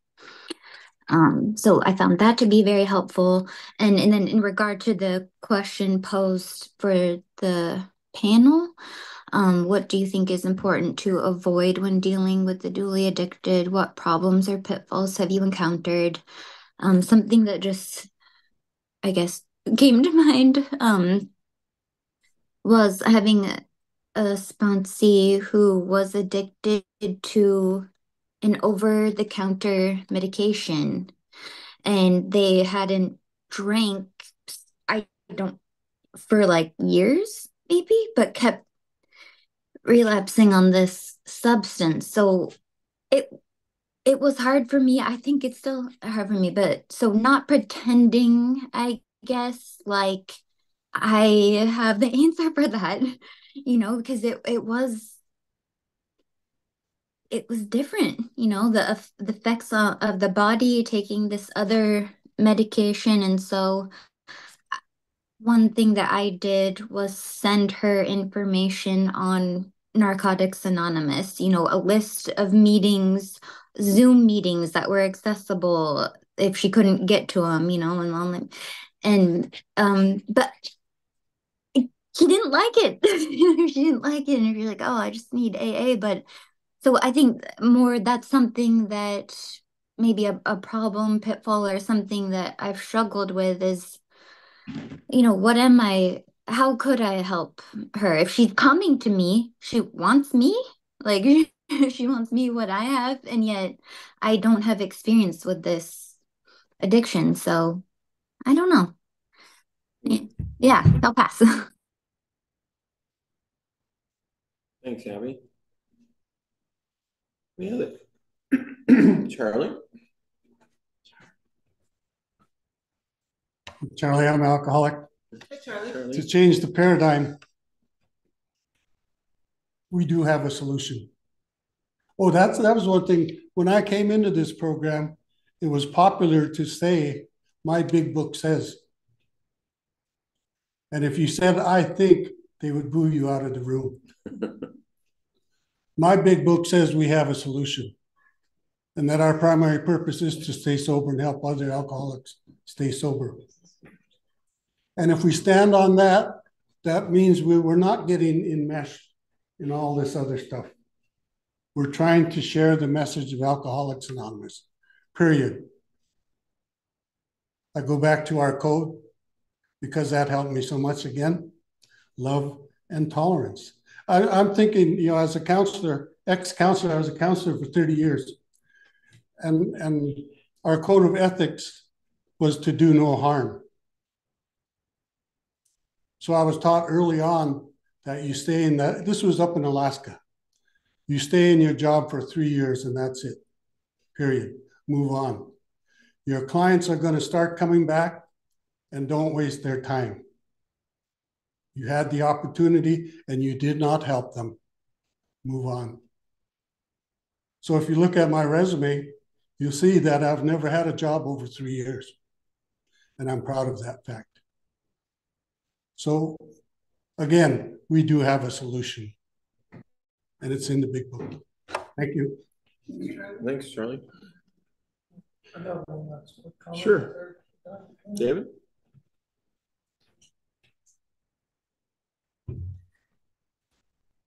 Uh, David Swanson, recovered alcoholic. Um, So what really helped me um, through this, um, the way I was sponsored was when somebody would go back out and come back in, right, and uh, they would relapse. My sponsor would ask them, "Hmm, do you have a sponsor? Hmm, do you have a home group? Hmm, do you have a service position? Taking other alcoholics to meetings. Hmm, what were you relapsing from? Right, and uh, my little pet peeve, of course, is uh, I, I is uh, Trigger is a horse and Trigger is dead. There's no such thing as a trigger in Alcoholics Anonymous. We don't have that word anywhere in our big book. Um, that has become a term that was brought in in the late 80s into our treatment centers as an out. It was a way for families to feel good about spending all this money to get Jimmy into a program that was going to make him uh, cookie cutter fit into society um, the way his family wanted him to. And unfortunately, what works, you know, we know that now that that's not how this all worked out. And, and, and fortunately for us, we know a lot more. I was sponsored for by a doctor, um, my first run through Alcoholics Anonymous for a short period of time. And it was very helpful because he was very open minded. You know, uh, the mind is like a parachute, it doesn't work unless it's open. And he believes that someday we will actually find a way medically to reverse this thing. He says it may not be in your lifetime or my lifetime, but as a physician, I believe. And um, and you know that, and that's a cool um, opinion. Uh, I think importantly, you know, is this is about sponsorship here, right? So this is about how we show up in front of these new people. Uh, and I think it's really important as they're coming in, uh, we're catching them right as they're coming in out of treatment um, you know, in the 80s, in the grapevine, somebody wrote an article about a meeting format called the general discussion meeting. And the general discussion meeting is now the majority of our meeting formats. And with that is an opportunity for people to come in and share how their day is, what's going on in their lives. And because we're bringing people in that are fresh, you know, even still in treatment, you know, they're only going to share what they've got, and all they've got is this treatment message. And, you know, we let them share the book study, but one of the things we do is, you know, when the book study's over, um, we get that opportunity to talk with them a little bit and explain to them the difference between, like, yeah, treatment's going to promise you you know, they're going to have you locked up. You're going to be sober most likely for 28 days. The difference between treatment and Alcoholics Anonymous is my big book promises me that, you know, after I've done everything in this big book, I can go down to the crack house at the end of the street and do a 12 step call and I'm going to stay sober with another member of Alcoholics Anonymous. And so we begin to give them hope, but it's important for us to just, you know, show up in that, to be loving, but to show up with some excitement, right? Like if we don't have excitement, like, you know, what if what if I got to share with you? I like I really like what that lady said about the woman saying if all I'm doing is showing up in Alcoholics Anonymous to survive the AA club, there's nothing here for me. Oh yeah, I say stuff like that all the time. I say that if you know my um, worst day in Alcoholics Anonymous is better than my best day drinking. Oh, I ain't got nothing for you. I I shouldn't have anything you want. Um, but if we show up and this is fun, um, and we have this solution and we have this hope, um, because we do have this core. You know, I like what you were saying about the big book. Like, you know, my big book says this. You know, I think all that stuff's important. Um, but once again, it's you know, we do. Um, it's it's helpful to have a couple different meetings that we are attached to part of maybe hold service positions in so we can carry a message because one of the things is like i get these new guys in and sometimes new women right because they're all they're looking for you know they're looking to you know maybe dodge the court stuff or you know a lot of people are coming to alcoholics anonymous to just get the get out of the heat for a minute you know that's that's what got me here right I was just willing to get out of the heat for a minute. And, uh, you know, um, where I start, I'm really careful with people coming in new. Is I'll sit down and take the time because so many people like to get sober in the AA club. And my grand sponsor in Los Angeles, he got sober in the AA club and he talks about the AA club. Um, so when people are new, I kind of sit them down like, yeah, it's okay to get sober and hang out the AA club all day and grab ass and, you know, I'll do all this other stuff. Um, but I explained to them the difference between the AA club and AA group and an AA meeting, right? And what kind of recovery is done in every piece because it's also important for those new people coming in to realize that because of our third tradition, heavy drinkers do land in Alcoholics Anonymous, and this becomes their social outlet, right? And let's not confuse that with the program of recovery when it's time to save somebody's life. Um, because if you're hearing a message of a heavy drinker sitting on the wall in the AA club, right, who can tell you, hey, I chose not to drink today, or this is my drug of choice, right? That stuff can kill people because I'm the type of alcoholic I have to drink every day. I got news for you. I don't have a drug of choice. I have a drug. My drug of choice is Excedrin. I take it once a year and I can put it back on the shelf. Right? I was a you know these drugs of no choice for me, and so um, you know I think fundamentally being able to explain those things and have that excitement and sponsorship is what gets people to believe in you long enough to begin to find the solution because they need to believe in you enough to do a bunch of this crazy stuff that they don't want to. You know, we're, we're alcoholics. We're, you know, we're only not lazy in finding our next drink. We're lazy in everything else. I mean, we're manipulative, we're clever. Like we have to have all those skills to truly be an alcoholic. So, um, you know, I, uh, I'm just, you know, if you're um, you know looking for better ways to be you know of service to these new people coming into the program you know when you have somebody new you might just you have to get out for a couple of weeks and go do five or six meetings a week and just pick stuff out of the book places you weren't going maybe go say something that's uh, controversial with those meetings right? Why not? Like it's alcoholics anonymous. Um, but you know, uh, for me, I have people that decide to do this program because we're just crazy enough and we're just having enough fun um, with what we do every week in Alcoholics Anonymous within the sponsorship lineage that it's not burning any one person out, but these new people have something to do and they're showing up with other people that are in that same lineage, you know, seven days a week. Um, because that's kind of you know that's kind of how this program um, is attractive. So um, yeah, it's about being excited.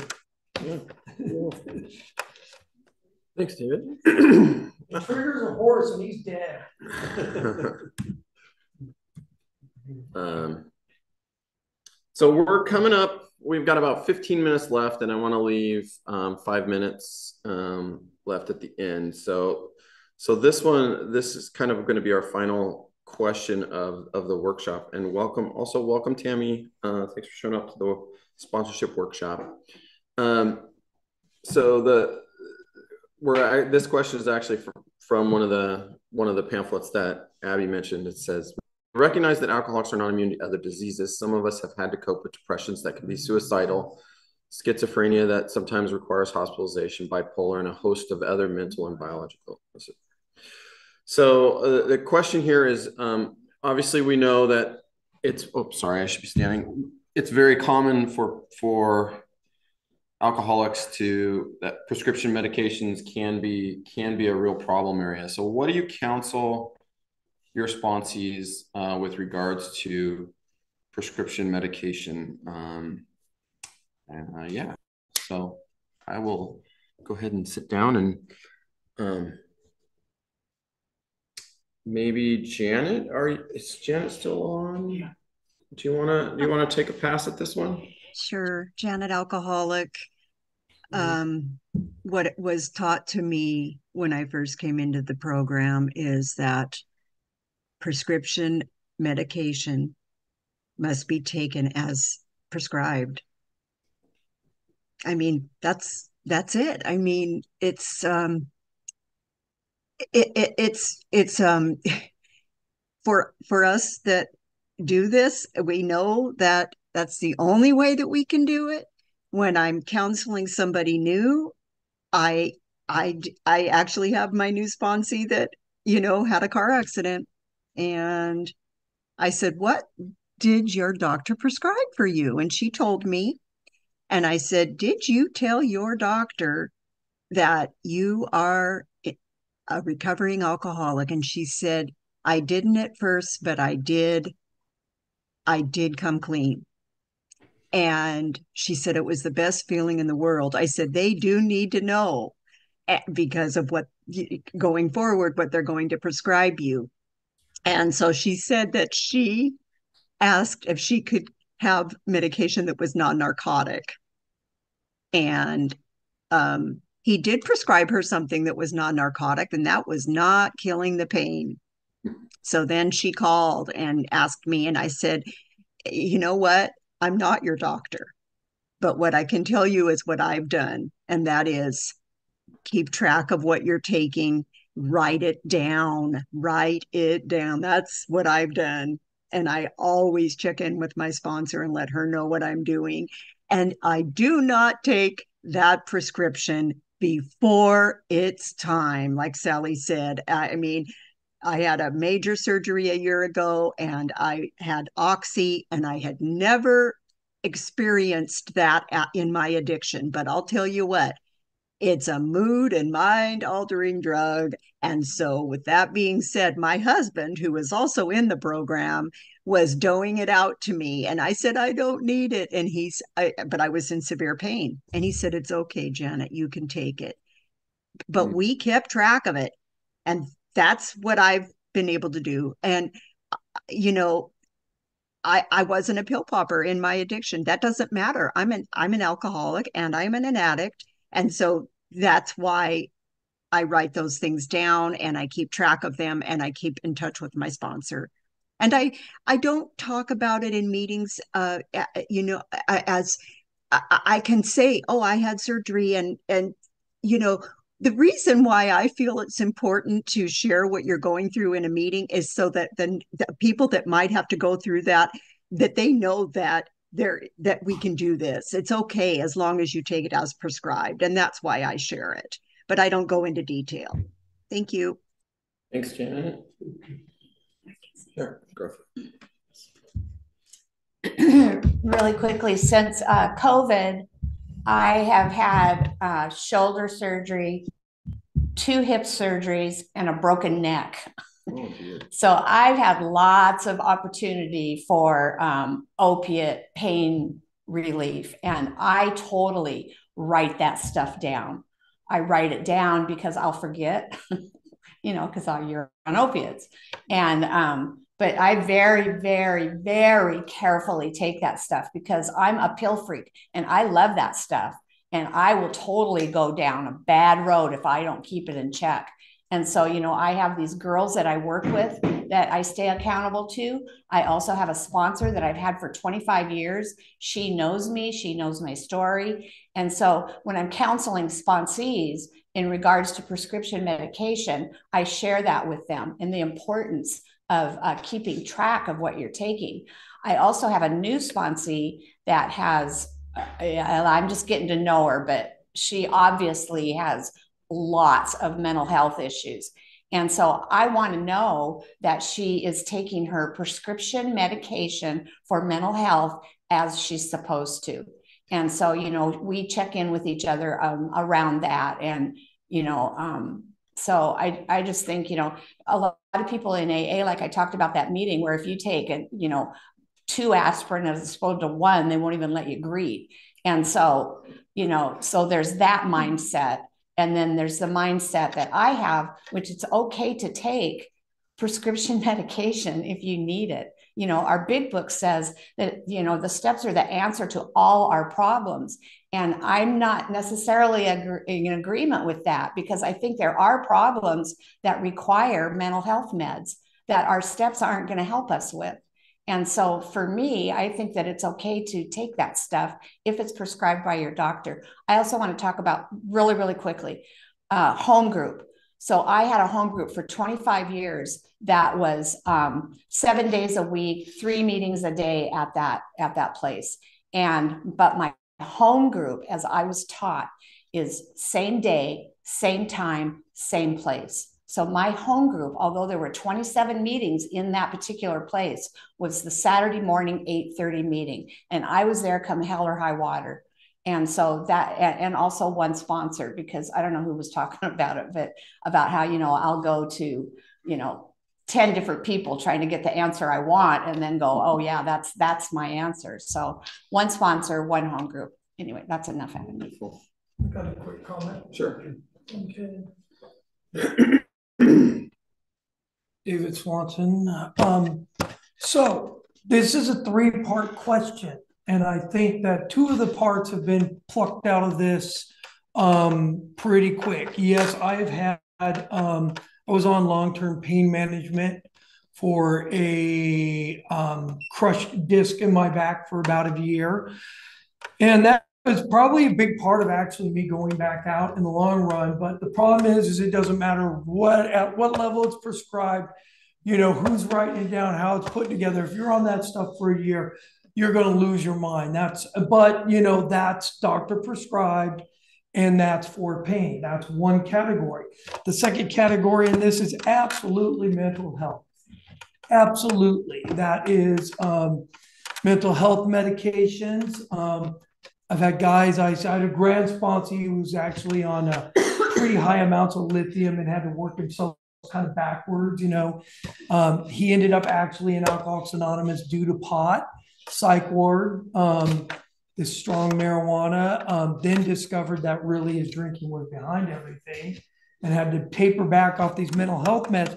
But we're leaving a third category out. And the third category of, of today is a newer category, and it ties into um, this treatment center perspective that came along in um, the, the early mid 90s, right? And that's called supplemental therapy harm reduction. And this is a new category because we might take pain medication to overcome surgery, right? We might have therapies of steroids to strengthen the body, right? Because steroids will affect your mind too in heavy doses. Um, and then we have, you know, mental health uh, medications, which we may have to be on for some length of time. Those are all monitored by the doctor. But but harm reduction and supplemental therapy to keep us from overcoming a craving to go use street drugs of the same family and nature. Um, the book, you know, um, I, I, you know, our book talks a little bit about us not being reformers, but I like to go back to, um, you know, Bill's description of what him and Dr. Bob were doing when they visited the hospitals, right? Like they'd come in and they would be like, if you've got a drinking problem and you want some help with this, we've got a we've got something that might work for you, right? But only if you only if you want this. We're not reformers. And I think trying to encourage somebody who's on supplemental therapy to be an Alcoholics Anonymous because maybe the court, drug court has sent them here, because drug court will send you to AA and put you on methadone and Suboxone right? So we got this stuff crashing together, and um, and that's where you know, guys, uh, there's some couple of circuit speakers that um, have some experience as drug and alcohol counselors, and I think that's where I've gone for my guidance on this because um, my family doctor looked at my history as an alcoholic and a drug addict, and when I changed doctors at the clinic, they're like, well just let us know if you're ever craving, why don't you come in? We'll give you a prescription for Suboxone. And I'm just like, you know, I'm like, uh, you know, uh, you, you would care for me in your living room when my wife kicks me out of the house, right? Like, uh, you know, and so I shared with this doctor, like, how all of these, my history, right? And the doctor had a new way of looking at it because they only know what medicine's giving to them at school right? In medicine, and these pharmaceutical companies are saying, well, yeah, if they're on Suboxone, they're taking this regularly, they may not die out there from fentanyl. which may or may not be true. It may give them enough. But the thing is, is like with the allergy and the craving, right? The obsession of the mind, when we're on harm reduction medication, we are subjective to the, you know, that obsession of the mind. We've got that substance in the body, which is going to continue that craving. And so I think um, not being reformers, if people are not willing to work to get off of harm reduction medication, we don't have anything to offer them here in Alcoholics Anonymous. You know, they may be in here for alcohol. They may, you know, the judge may be sending them to Alcoholics Anonymous because, you know, alcoholic alcohol was part of their toxicology report, and they may very well be an alcoholic somewhere in there.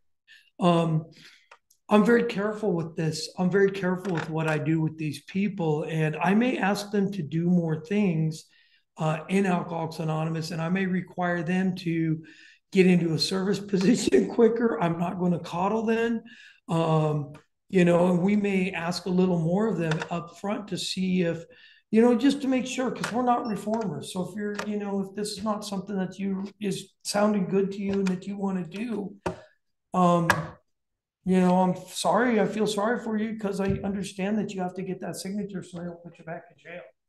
So I mean, I, I just I just want to bring up this third category because we've only talked about the two categories, and I I love that writing it down idea. You know, it's great to keep track. The amount of pain medication I was on for an exploded disc, I wasn't writing nothing, but but um, but I, you know, I think that that's that kind of idea is is useful. So, but let's not mix the mental health medications and the post surgery, the recovery medications up from the supplemental um, medications. Wonderful. Okay, we are actually running out of time. So, um, uh, I'm going to wrap us up here with the uh, with the responsibility statement that we're going to all say together. Okay, I am responsible. responsible when anyone, anyone, anywhere, anywhere reaches out for help. I want the hand of AA always to be there. And for that, that, I'm I am responsible. Thank you, everybody. Um, if anyone has a suggestion for a topic, uh, a potential topic for a sponsor um, sponsorship workshop, go ahead and shoot me an email at thirdlegacy at seattleaa.org if there's something that you would like to to hear or something you want to speak on or or anything like that and i would love to i'd love to hear about that our um, and um, yeah thanks everyone. Thank you especially to the panel for being willing to uh, being willing to share. I really appreciate you guys doing that